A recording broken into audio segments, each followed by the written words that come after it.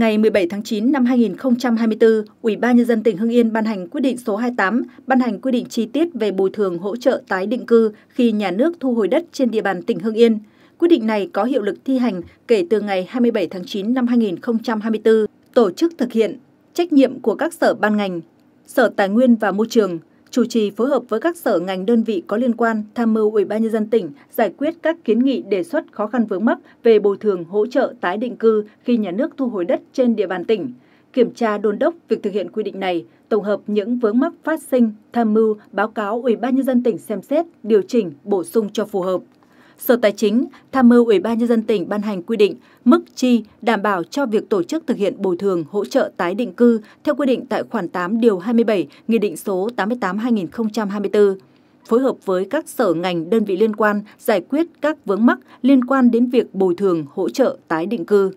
Sở Xây dựng chủ trì phối hợp với các sở ngành có liên quan tham mưu trình Ủy ban nhân dân tỉnh ban hành nội dung quy định tại điều 6 khoản 1 điều 11 của quy định này để làm căn cứ tính bồi thường khi nhà nước thu hồi đất. Hàng năm, tổ chức khảo sát, điều tra, giả soát, điều chỉnh bảng đơn giá đảm bảo phù hợp với tình hình biến động và giá thị trường tại thời điểm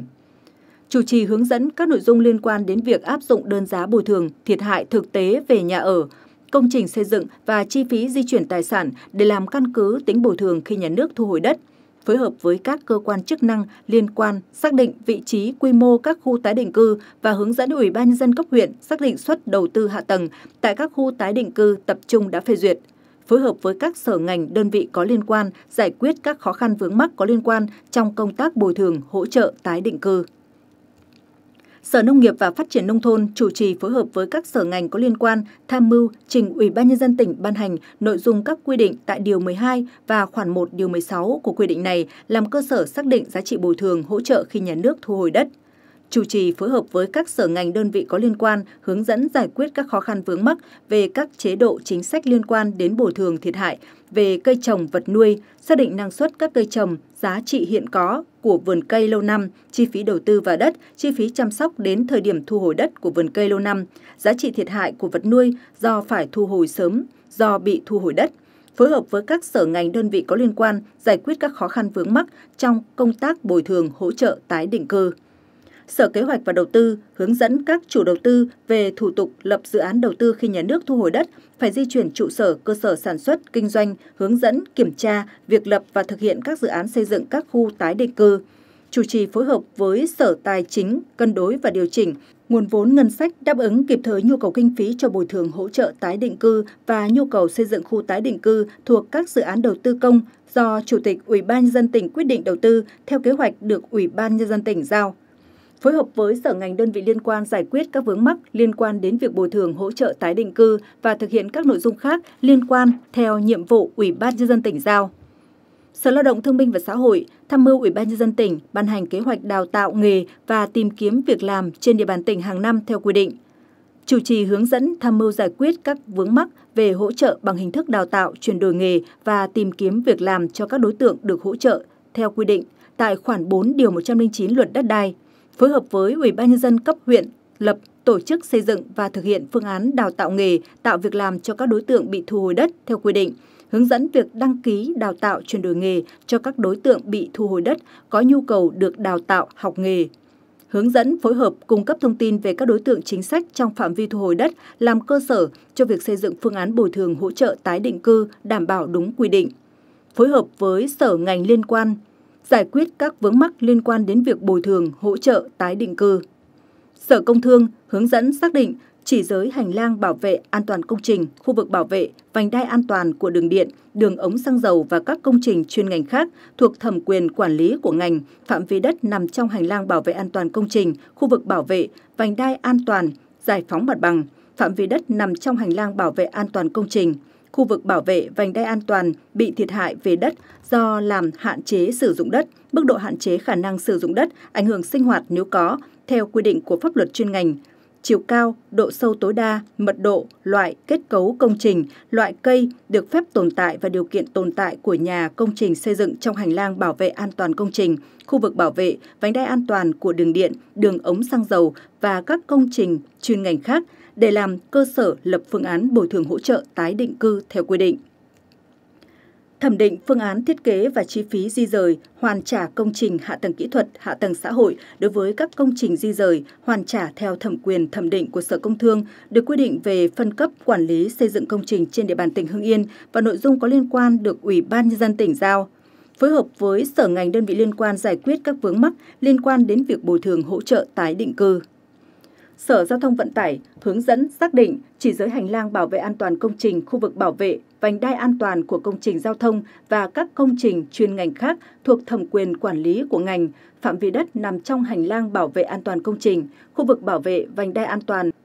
phải giải phóng mặt bằng, phạm vi đất nằm trong hành lang bảo vệ an toàn công trình bị thiệt hại về đất do làm hạn chế sử dụng đất, mức độ hạn chế khả năng sử dụng đất, ảnh hưởng sinh hoạt nếu có theo quy định của pháp luật chuyên ngành, chiều cao, loại, kết cấu của nhà công trình xây dựng được phép tồn tại hoặc phải phá rỡ để làm cơ sở lập phương án bồi thường hỗ trợ tái định cư theo quy định. Thẩm định phương án thiết kế và chi phí di rời hoàn trả công trình hạ tầng kỹ thuật, hạ tầng xã hội đối với các công trình di rời hoàn trả theo thẩm quyền của Sở Giao thông Vận tải được quy định về phân cấp quản lý xây dựng công trình trên địa bàn tỉnh Hưng Yên và nội dung có liên quan được Ủy ban Nhân dân tỉnh giao. Phối hợp với sở ngành đơn vị liên quan giải quyết các vướng mắc liên quan đến việc bồi thường hỗ trợ tái định cư. Sở Thông tin và Truyền thông, Sở Văn hóa Thể thao và Du lịch, Sở Khoa học và Công nghệ, Bộ Chỉ huy Quân sự tỉnh, Công an tỉnh – hướng dẫn xác định chỉ giới hành lang bảo vệ an toàn công trình, khu vực bảo vệ vành đai an toàn đối với công trình an ninh quốc phòng, công trình văn hóa bảo tồn di sản, công trình công cộng khác thuộc phạm vi chức năng quản lý của ngành lĩnh vực, phạm vi đất nằm trong hành lang bảo vệ an toàn, khu vực bảo vệ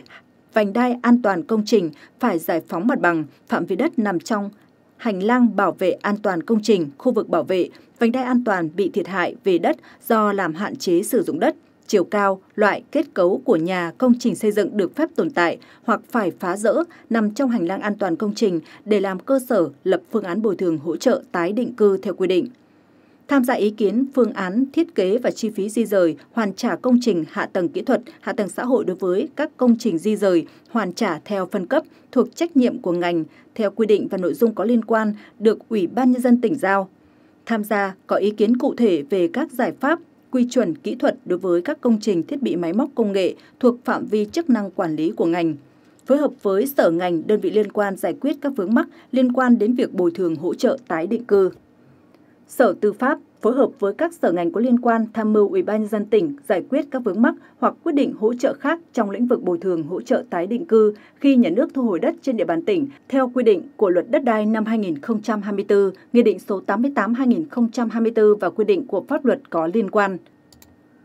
Cục Thuế tỉnh chỉ đạo Tri Cục Thuế khu vực xác định mức thu nhập sau thuế của tổ chức, hộ gia đình, cá nhân sản xuất kinh doanh, xác định các khoản nghĩa vụ tài chính mà chủ sử dụng đất chưa hoàn thành chuyển cho đơn vị tổ chức thực hiện, nhiệm vụ bồi thường hỗ trợ tái định cư làm cơ sở để lập phương án bồi thường hỗ trợ theo quy định. Chủ trì xác định tiền sử dụng đất, tiền thuê đất, tiền thuê nhà mà người có đất có nhà thu hồi chưa hoàn thành hoặc phải thực hiện nghĩa vụ đối với nhà nước theo quy định của pháp luật chủ trì phối hợp xác minh, cung cấp hồ sơ thông tin tài liệu về việc trích lập khấu hao tài sản cố định, việc hạch toán, kê khai nghĩa vụ với nhà nước liên quan đến việc sử dụng hoặc không còn sử dụng tài sản cố định của người có đất, người có tài sản thu hồi và một số nội dung khác thuộc chức năng, nhiệm vụ theo quy định. Trách nhiệm cụ thể của Ủy ban nhân dân cấp huyện, cấp xã Ủy ban nhân dân cấp huyện chịu trách nhiệm trước Ủy ban nhân dân tỉnh trong việc tổ chức thực hiện tiến độ và kết quả công tác bồi thường hỗ trợ tái định cư trên địa bàn, phê duyệt và chịu trách nhiệm trước pháp luật về cơ sở pháp lý, tính chính xác của các phương án bồi thường hỗ trợ tái định cư, chi tiết, dự toán chi phí tổ chức thực hiện bồi thường hỗ trợ tái định cư trên địa bàn thuộc thẩm quyền thực hiện dự án xây dựng khu tái định cư tại địa phương và giao đất tại khu tái định cư theo đúng quy định – quy hoạch và xây dựng các khu quy hoạch dân cư ngoài các khu tái định cư để giao đất ở, có thu tiền sử dụng đất cho các đối tượng theo các quy định. Thu hồi giấy chứng nhận đối với hộ gia đình cá nhân bị thu hồi cả thửa đất, chỉ đạo chỉnh lý hồ sơ địa chính và giấy chứng nhận đối với hộ gia đình cá nhân bị thu hồi một phần diện tích của thửa đất theo thẩm quyền. Phân công nhiệm vụ cụ thể, quy định rõ trách nhiệm quyền hạn của các phòng trực thuộc, Ủy ban nhân dân cấp xã và các cán bộ công chức để thực hiện giải quyết các kiến nghị, khiếu nại liên quan đến công tác thu hồi đất, bồi thường hỗ trợ tái định cư theo thẩm quyền và quy định của pháp luật, xây dựng, thẩm định và phê duyệt giá đất cụ thể để phục vụ công tác bồi thường hỗ trợ và tái định cư theo quy định. Ủy ban nhân dân cấp xã nơi có đất thu hồi tổ chức tuyên truyền về mục đích thu hồi đất, chính sách bồi thường hỗ trợ và tái định cư khi nhà nước thu hồi đất, xác nhận và chịu trách nhiệm các nội dung đất ở, nhà ở khác ngoài địa chỉ nơi có đất thu hồi trong địa bàn xã phường thị trấn của các hộ gia đình cá nhân bị thu hồi đất làm cơ sở để xem xét bố trí tái định cư. Số nhân khẩu đang trực tiếp sinh sống tại địa phương nơi có đất thu hồi, số lao động trong độ tuổi đối với trường hợp thu hồi đất nông nghiệp có nhu cầu hỗ trợ đào tạo, học nghề và tìm kiếm việc làm để làm cơ sở hỗ trợ ổn định đời sống. Thực hiện các nhiệm vụ khác theo quy định của pháp luật và quy định này. Trách nhiệm của chủ đầu tư và người có đất thu hồi và đơn vị quản lý công trình hạ tầng kỹ thuật, hạ tầng xã hội phải di rời hoàn trả. Chủ đầu tư dự án trường hợp đã xác định chủ đầu tư, nhà đầu tư trước khi thu hồi đất, chủ đầu tư, nhà đầu tư tự nguyện ứng trước kinh phí bồi thường hỗ trợ tái định cư, chuẩn bị đầy đủ hồ sơ dự án, các tài liệu liên quan theo quy định và bàn giao mốc giới giải phóng mặt bằng, hồ sơ đo đạc thu hồi đất được nghiệm thu nếu có cho chính quyền địa phương và đơn vị tổ chức thực hiện nhiệm vụ bồi thường hỗ trợ tái định cư. Phối hợp với đơn vị tổ chức thực hiện nhiệm vụ bồi thường hỗ trợ tái định cư, Ủy ban nhân dân cấp xã nơi có đất thu hồi và cơ quan có liên quan để thực hiện công tác bồi thường hỗ trợ tái định cư phối hợp với đơn vị tổ chức thực hiện nhiệm vụ bồi thường hỗ trợ tái định cư, trường hợp điều chỉnh danh giới cục bộ giải phóng mặt bằng trong phạm vi thửa đất đã có thông báo thu hồi đất do điều chỉnh thiết kế được cấp có thẩm quyền phê duyệt hoặc điều chỉnh để phù hợp với thực tế, làm cơ sở thu hồi đất, lập phương án bồi thường hỗ trợ, đảm bảo đầy đủ kịp thời kinh phí để chi trả tiền bồi thường hỗ trợ tái định cư, kinh phí tổ chức thực hiện bồi thường hỗ trợ tái định cư. Người có đất thu hồi chấp hành chủ trương quyết định thu hồi đất của cấp có thẩm quyền, kê khai trung thực chính xác về nguồn gốc sử dụng đất, thời điểm hình thành tài sản khối lượng cây cối hoa màu có trên đất thu hồi, phối hợp cùng đơn vị tổ chức thực hiện nhiệm vụ bồi thường hỗ trợ tái định cư trong việc kiểm kê diện tích đất đai, tài sản cây cối hoa màu gắn liền với đất thu hồi, ký nhận diện tích đất đai khối lượng tài sản cây cối hoa màu vật nuôi phá rỡ di chuyển, thực hiện nhận tiền bồi thường hỗ trợ, nhận nhà, đất tái định cư nếu có, tháo rỡ và di chuyển tài sản bàn giao mặt bằng đúng thời gian quy định. Đơn vị quản lý công trình hạ tầng kỹ thuật, hạ tầng xã hội phải di rời hoàn trả. Chấp hành và thực hiện đảm bảo tiến độ phương án di rời hoàn trả công trình hạ tầng kỹ thuật, hạ tầng xã hội của cấp có thẩm quyền, cung cấp đầy đủ trung thực các tài liệu liên quan đến công trình hạ tầng kỹ thuật, hạ tầng xã hội phải di rời, hoàn trả để làm cơ sở xác định trách nhiệm, phương án và chi phí di rời hoàn trả, chịu trách nhiệm về tính chính xác của tài liệu cung cấp,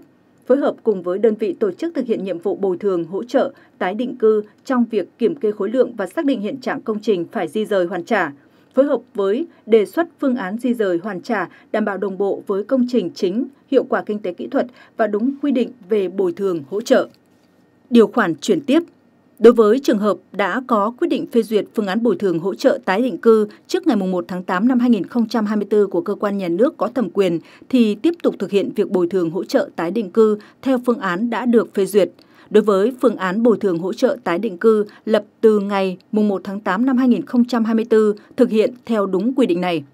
Đối với trường hợp đã được cơ quan nhà nước có thẩm quyền phê duyệt, dự toán chi phí đảm bảo cho việc tổ chức thực hiện bồi thường hỗ trợ tái định cư chi phí cưỡng chế, kiểm đếm, cưỡng chế thu hồi đất trước ngày quy định này có hiệu lực thi hành thì tiếp tục thực hiện theo quy định của pháp luật hướng dẫn thi hành luật đất đai số 45-2013 ngày 9 tháng 12 năm 2013 về lập dự toán sử dụng và thanh quyết toán kinh phí tổ chức thực hiện bồi thường hỗ trợ tái định cư khi nhà nước thu hồi đất. Trong quá trình triển khai thực hiện, nếu có khó khăn vướng mắc, các đơn vị tổ chức có liên quan kịp thời báo cáo Ủy ban Nhân dân tỉnh xem xét, quyết định thông qua Sở Tài nguyên và Môi trường.